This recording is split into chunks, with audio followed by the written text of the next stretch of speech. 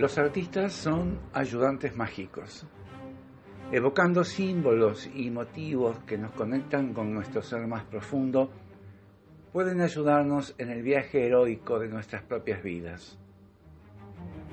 El artista está destinado a unir los objetos de este mundo de tal manera que a través de ellos experimentes esa luz, ese resplandor que es la luz de nuestra conciencia y que todas las cosas ocultan y cuando se miran adecuadamente revelan. El viaje del héroe es uno de los patrones universales a través del cual ese resplandor se muestra brillantemente. Lo que creo es que una buena vida es un viaje del héroe tras otro. Una y otra vez eres llamado al reino de la aventura, eres llamado a nuevos horizontes. Cada vez hay el mismo problema. ¿Me atrevo? Y luego, si te atreves, los peligros están ahí. Y la ayuda también. Y el cumplimiento o el fracaso. Siempre existe la posibilidad de un fracaso, pero también existe la posibilidad de felicidad.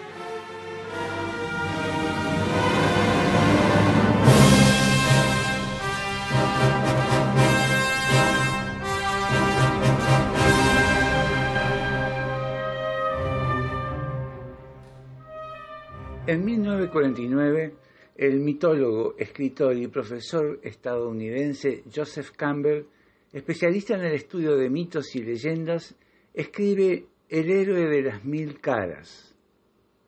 En ese libro plantea su teoría de la existencia de un monomito que condensa la estructura mitológica del viaje del héroe arquetípico hallada en los diferentes mitos del mundo desde la antigüedad hasta nuestros días. Esto incluye figuras como Osiris, Prometeo, Buda, Moisés, Mahoma y Jesús, entre otros. El libro de Campbell influenció notablemente en el director George Lucas para realizar su famosa película La Guerra de las Galaxias, y fue él quien hizo popular a Campbell para el gran público.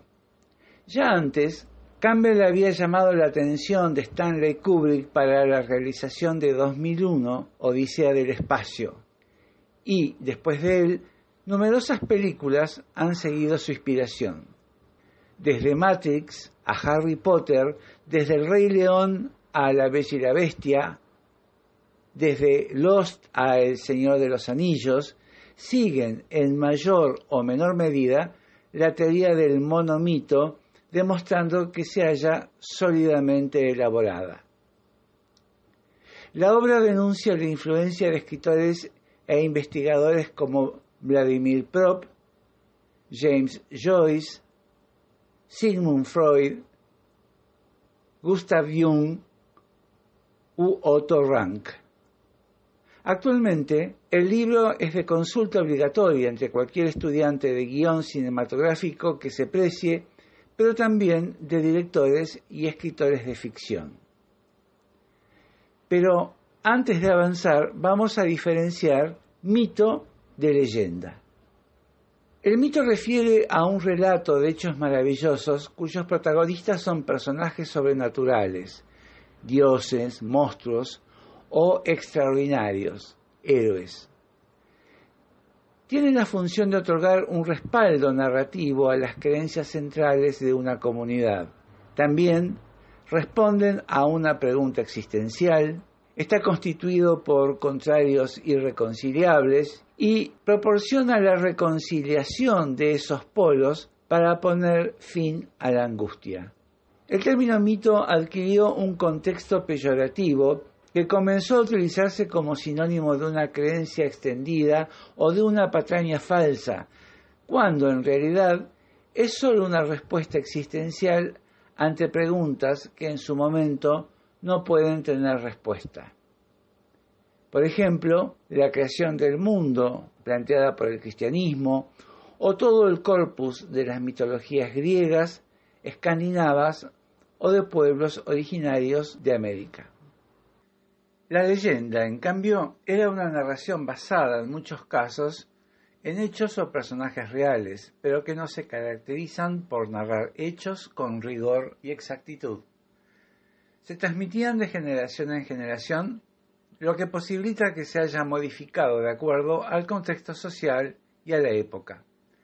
Generalmente se haya ligada a un personaje, un espacio geográfico o un objeto preciso y muestra cómo dicho elemento concreto se integra a la historia o a la vida cotidiana de la comunidad.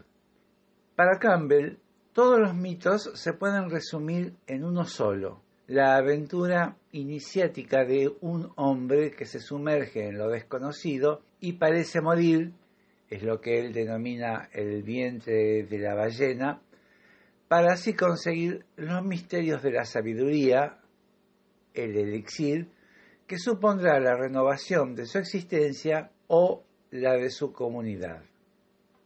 Pero, ¿qué es un héroe? No tiene nada que ver con superpoderes o cosas así. En términos dramáticos, narrativos, un héroe es al que le pasan las cosas, el que atraviesa las diferentes contingencias de una narración. Es el protagonista de la aventura. Chris Bolger discípulo de Joseph Campbell, simplifica el desarrollo original que hace Campbell en 17 estaciones en dos etapas, sintetizando u omitiendo las cinco restantes. Ese es el modelo que vamos a tomar nosotros.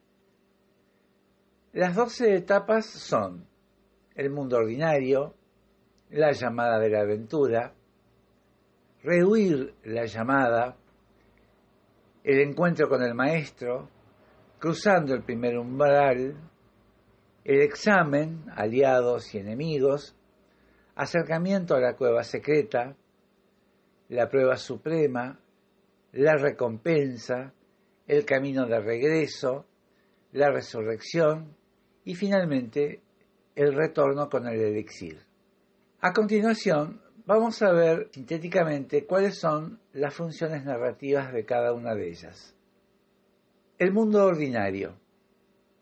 El mundo ordinario se presenta para que el contraste al pasar al mundo especial esté muy realzado.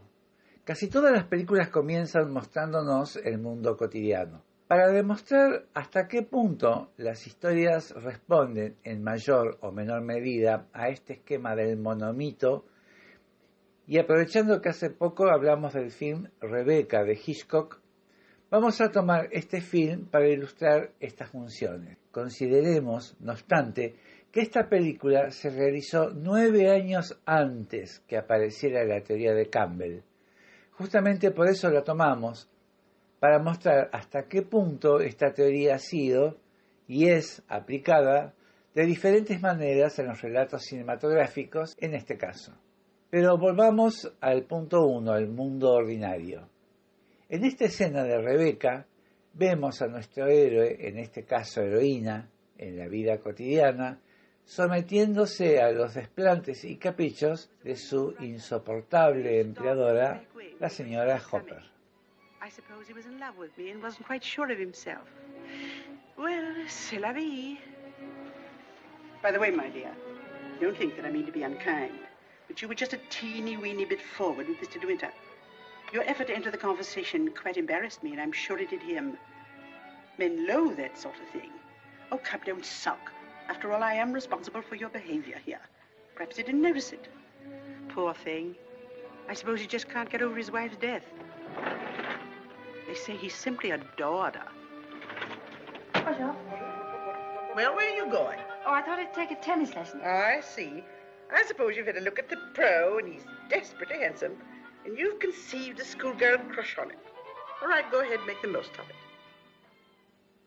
La llamada de la aventura.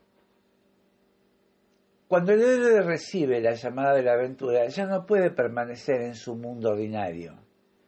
En muchos films, eh, por ejemplo en los policiales, es el momento en que la bella mujer llega a consultar al detective privado en bancarrota. O, por ejemplo, cuando en Matrix, Neo escucha el toc toc en la puerta.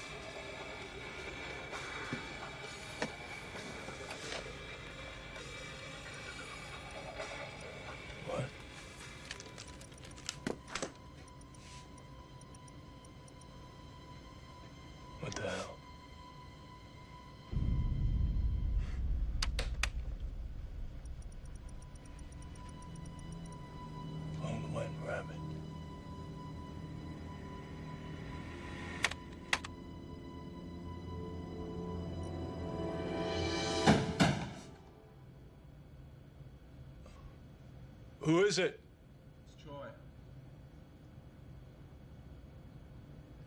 En el caso de Rebeca, el llamado a la aventura es el encuentro de nuestra heroína con Max de Winter al borde del acantilado. Ya nada será igual para ella.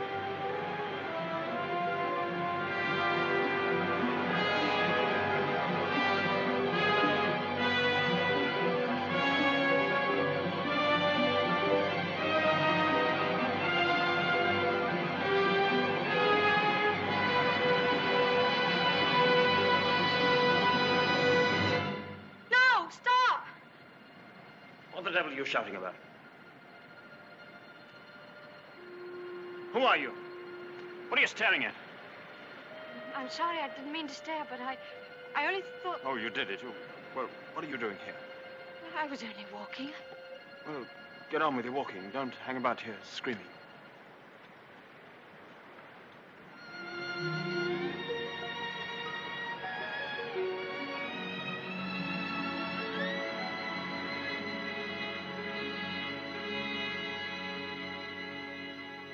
Rehuir la llamada. Expresa las dudas y los miedos sobre si seguir o regresar. Usualmente, un elemento de violencia actúa como determinante para despejar las dudas y suma el elemento de la venganza personal a la llamada de la aventura. Por ejemplo, en Star Wars, Luke decide combatir el imperio luego de ver destruida su granja y asesinados a sus tíos.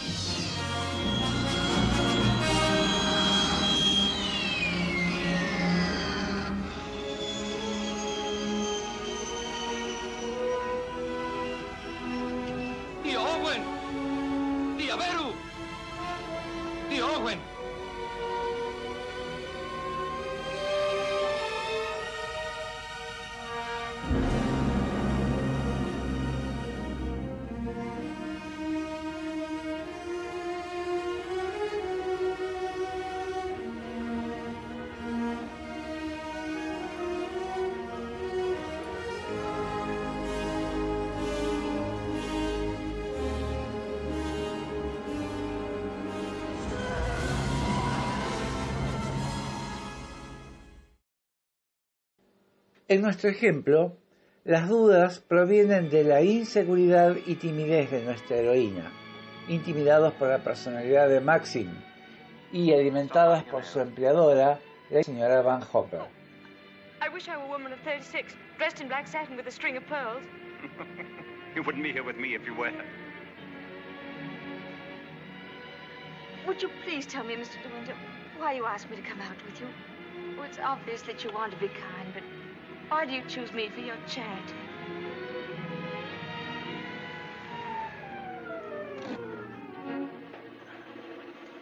I asked you to come out with me because I wanted your company. You've blotted out the past for me more than all the bright lights of Monte Carlo.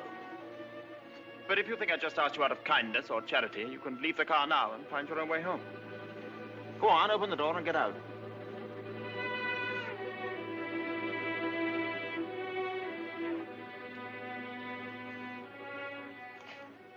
Blow your nose.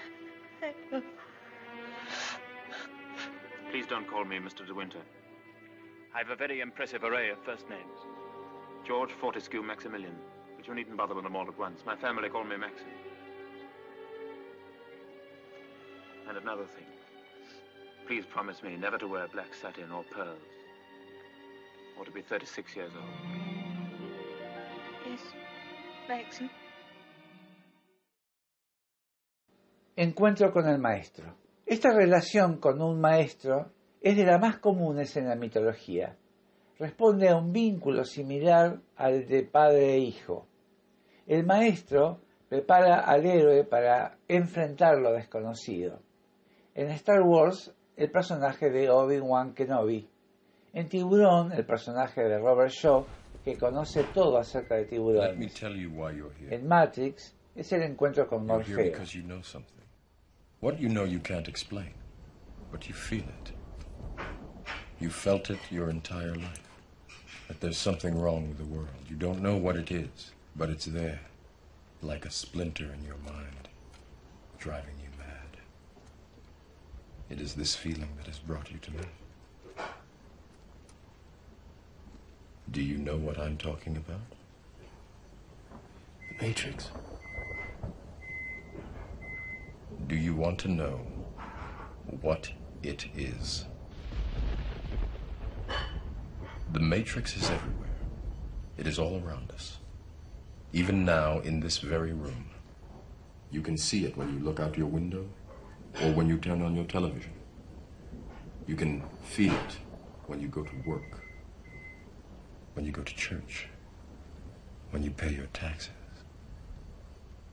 It is the world that has been pulled over your eyes to blind you from the truth.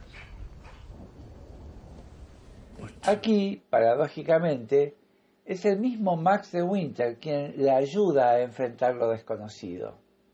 Ella parece disminuida, pequeña e insegura, y el personaje que compone Laurence Olivier se demuestra seguro y dominante, aunque misterioso.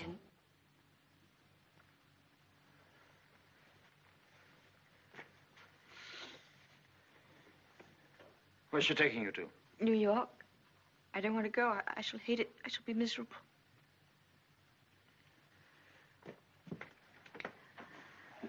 I'll dress in here. I shan't be long.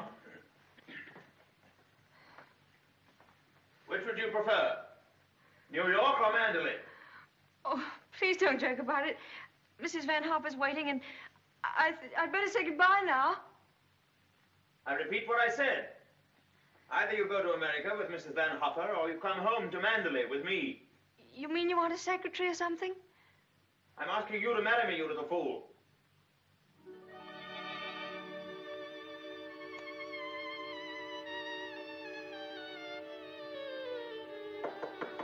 Come.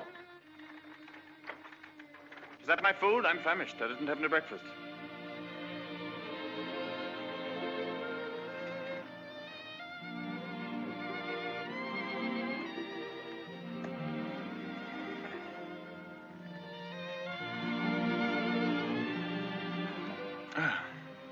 Suggestion didn't seem to go at all well. Sorry. Oh, but you don't understand. It's that I. Well, I'm not the sort of person men marry. What on earth do you mean? I don't belong in your sort of world, for, for one thing. Well, what is my sort of world? Oh, well, mandolin, you know what I mean. Well, I'm the best judge of whether you belong there or not. Of course, if you don't love me, that's a different thing. Fine blow to my conceit, that's all. Oh, I do love you. I love you most dreadfully. I've been crying all morning because I thought I'd never see you again.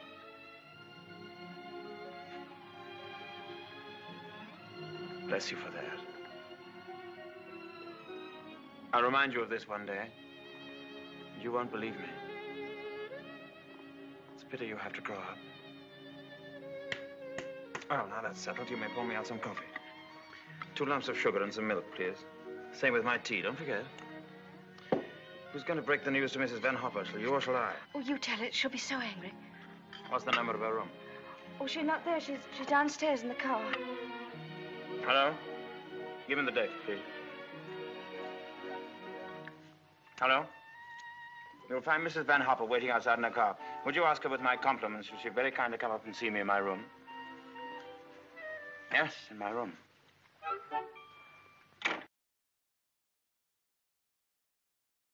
Cruzando el primer umbral. Al cruzar el primer umbral, el relato entra en el mundo especial donde va a desarrollarse el film. Este es el momento en que la aventura comienza realmente a andar. Por lo general es el punto de inflexión entre el mundo conocido y seguro y el desconocido lleno de aventuras. Sin duda, en el caso de Rebeca, el momento es cuando la heroína llega a la magnífica residencia Manderley y atraviesa su umbral. La mansión es el escenario enigmático donde se desarrollará su aventura. Cold, darling. Yes, just a little bit. There's no need to be frightened, you know. Just be yourself and they'll all adore you.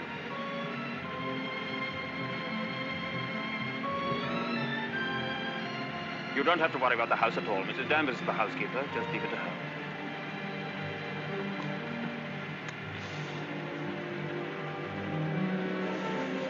Hello. Starting to rain. Better hurry up. Here, have this. Put it over your head. Thank you.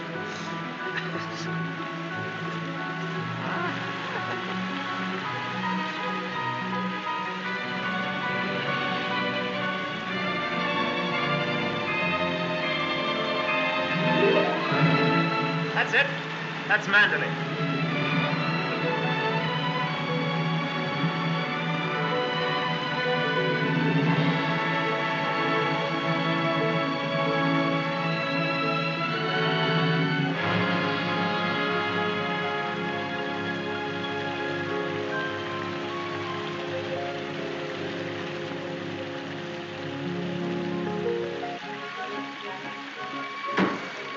Here we are, Frith. Everybody well? Yes, thank you, sir. We're glad to see you home, sir.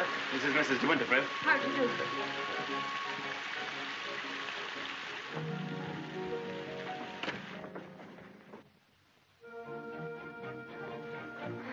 I didn't expect the whole staff to be in attendance. Mr. Danvers' orders, sir. Oh. Sorry about this. Won't take long.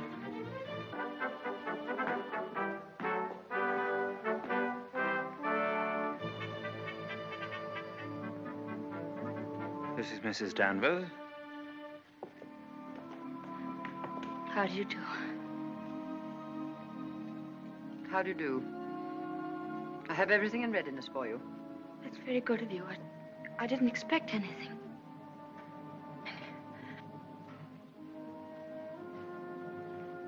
I think we'd like some tea, Frith. Ready in the library, sir.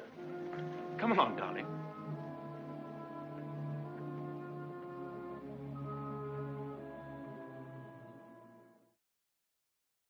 Luego de cruzar el umbral, el héroe tiene por delante nuevos exámenes y descubre aliados y enemigos aprendiendo las reglas de este nuevo mundo especial. En Casablanca, el café de Rick es el sitio donde se forjan las alianzas y se definen los enemigos. En la Guerra de las Galaxias, en la cantina, ahí se fortalece la alianza de Luke con Han Solo. En nuestra película, el lugar es la misma mansión, es Manderley. Y allí va a conocer su archienemiga, la señora Denvers, el fiel administrador de la mansión, el señor Crowley, como así el ubicuo personaje del primo de Rebecca, Jack Fabel, quien brindará valiosa información sobre ella.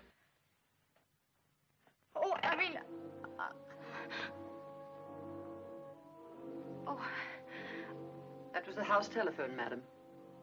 Probably the head gardener wishing instructions. did you want to see me, Mrs. Danvers?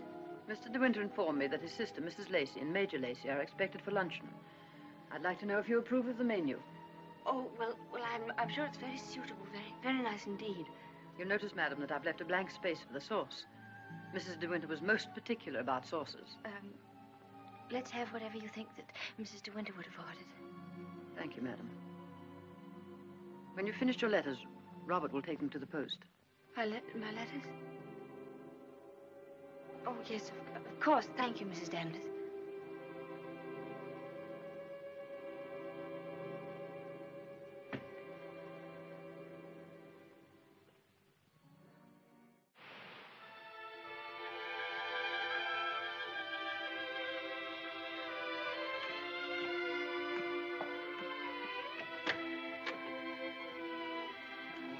Come in. Oh, please don't get up, Mr. Crawley. I, I was just wondering if you meant what you said the other day about um, showing me the run of things. Of course I did. What are you doing now? Notifying all the tenants that in celebration of Maxim's return with his bride, this week's rent will be free. Oh, was that Maxim's idea? Oh, yes. All the servants get an extra week's wages, too. Oh, he didn't tell me. Oh, Can't I help you? I, I could at least lick the stamps. Well, that's terribly nice of you. Uh, won't you sit down? Oh, yes, thank you.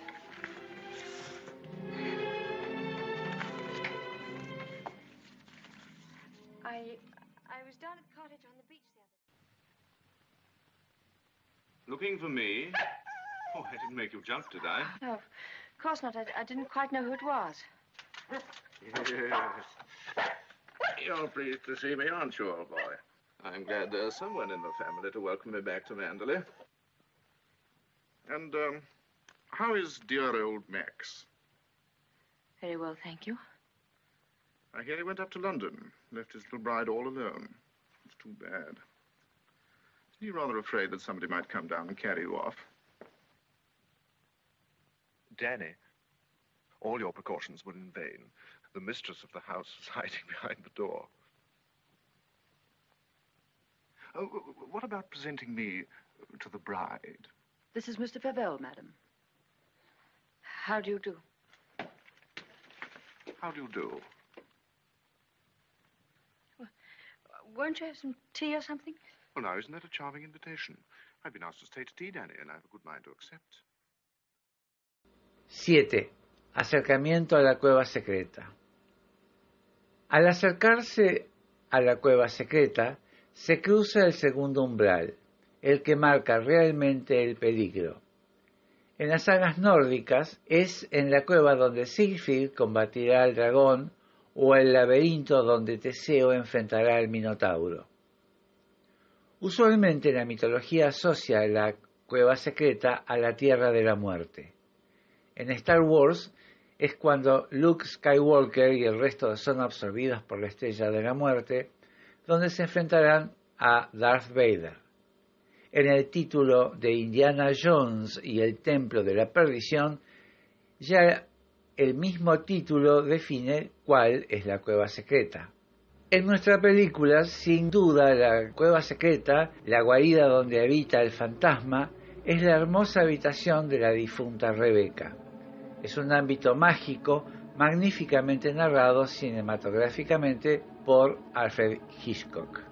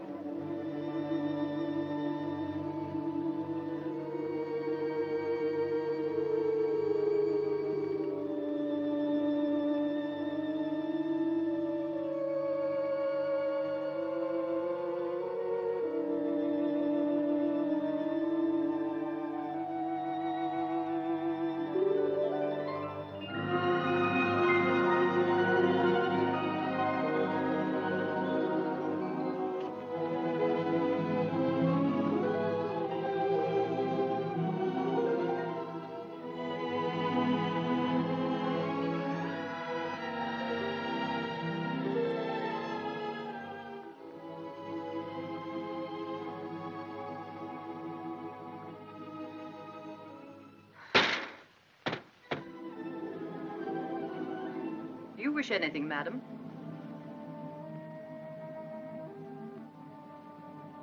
Ocho. Prueba suprema. Aquí el héroe enfrenta el mayor peligro y la posibilidad de perecer.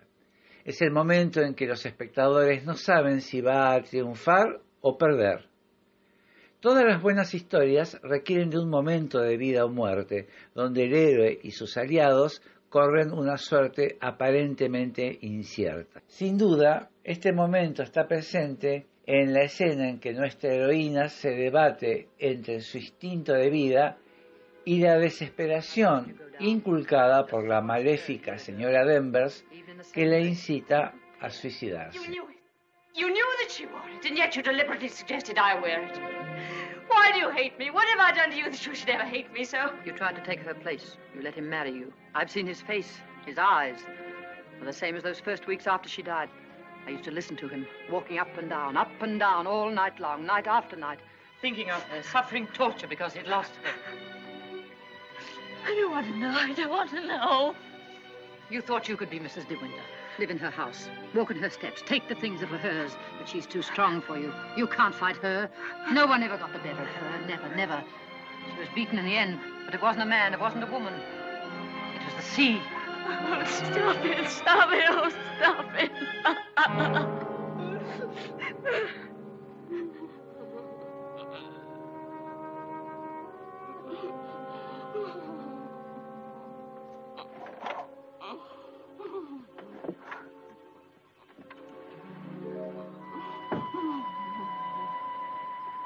overwrought, madam.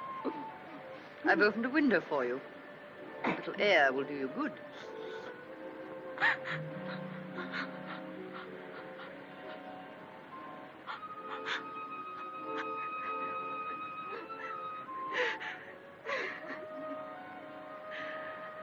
Why don't you go?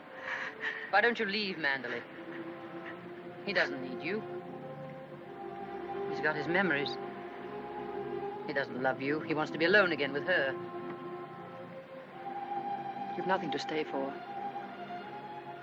You've nothing to live for, really, have you? Look down there. It's easy, isn't it? Why don't you? Why don't you?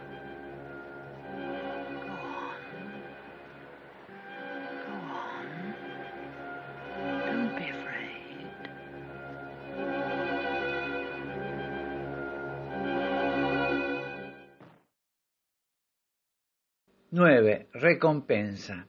Habiendo sobrevivido a la muerte, el héroe recibe una recompensa. Este es, por lo general, el momento de reconciliación con el sexo opuesto. Max de Winter le confiesa que no amaba a Rebeca, lo que alivia el sentimiento de inferioridad que la heroína siente ante la omnímoda presencia de la muerta, reafirmando la relación con su esposo.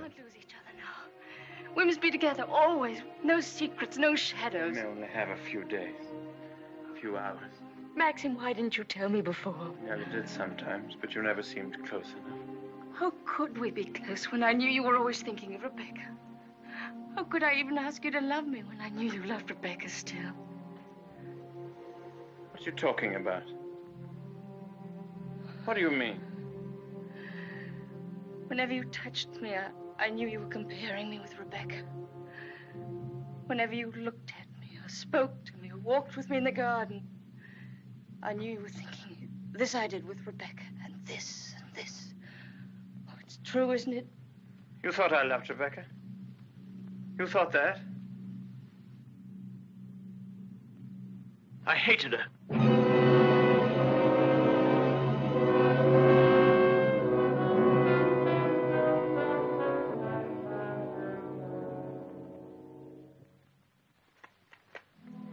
Was carried away by her. Enchanted by her, as everyone was. And when I was married, I was told I was the luckiest man in the world. She was so lovely, so accomplished, so amusing. She's got the three things that really matter in a wife, everyone said breeding, brains, and beauty. And I believed them completely. But I never had a moment's happiness with her. She was incapable of love, or tenderness, or decency. You didn't love her. You didn't love her. Do you remember that cliff where you first saw me in Monte Carlo? Well, I went there with Rebecca on our honeymoon. That was when I found out about her. Four days after we were married. She stood there. 10. El camino de regreso. Es el momento de la decisión de retornar al mundo ordinario. En ET, por ejemplo, es el momento en que los chicos emprenden la carrera en bicicleta hacia la nave, llevando a ET y huyendo de la autoridad volando a la luz de la luna llena. 11. La resurrección. En la tradición del héroe, debe realizar el último enfrentamiento que supone un rito de renacimiento o resurrección antes de regresar al mundo ordinario. Se trata de un nuevo momento de vida o muerte o de un morir y renacer. En Star Wars, en cada batalla, Luke tiene un momento donde parece morir y milagrosamente se salva o revive. Los momentos 10 y 11 son sintetizados por Hitchcock en uno. Ya aclarada la muerte de Rebecca y con esto la sospecha de que Max de Winter no es el asesino de su ex esposa, la heroína recupera así la normalidad y la posibilidad de continuar su vida normal junto a su amado. Promise me that they, they won't make you angry. All right, darling. I promise. No matter what he asks you, you, you won't lose your head. Don't worry, dear. They can't do anything at once, can they? No. Then we've a little time left to be together. Yes. I want to go to the inquest with you. I'd rather you didn't, darling. But I can't wait here alone. I promise you I, I won't be in any trouble to you, and I must be near you so that no matter what happens, we, we, we, we won't be separated for a moment. All right, dear. I don't mind this whole thing, except for you. I can't forget what it's done to you. I've been thinking of nothing else since it happened. Ah. It's gone forever. That funny young lost look I loved won't ever come back. 12. Retorno con el elixir. El héroe regresa al mundo ordinario, pero la aventura no habrá tenido sentido si no ha traído un elixir, un tesoro, un aprendizaje nuevo desde el mundo especial. Este elixir podrá ser un amor, una amistad, libertad conquistada, un conocimiento. NT regresa a su planeta con la experiencia de la amistad con los humanos. En nuestra película, el elixir de la vida es la verdad y con ella la liberación de la pareja del pasado, de la presencia maligna de Rebeca. El fuego arrasará Manderley con la señora Denvers en su interior, purificando todo. El pasado ha sido superado y ellos finalmente podrán vivir felices.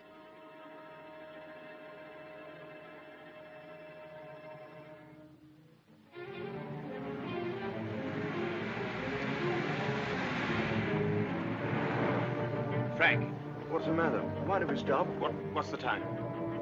Well, this clock's wrong. It Must be three or four. Why? That can't be the dawn breaking over there. It's in the winter that you see the northern lights, isn't it? That's not the Northern Lights. That's Mandalay.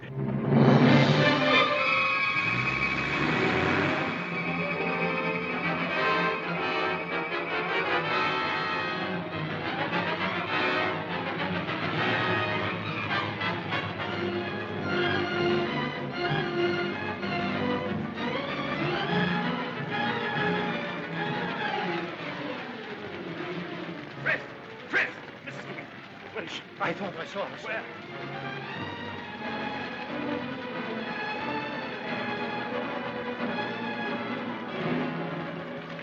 Maxie! Thank heaven you come back to me. Are you all right, Tommy? Oh, yes. Are you all right? Mrs. Danvers. She's gone mad. She said she'd rather destroy Mandalay than see us happy here. Look! The West Wing!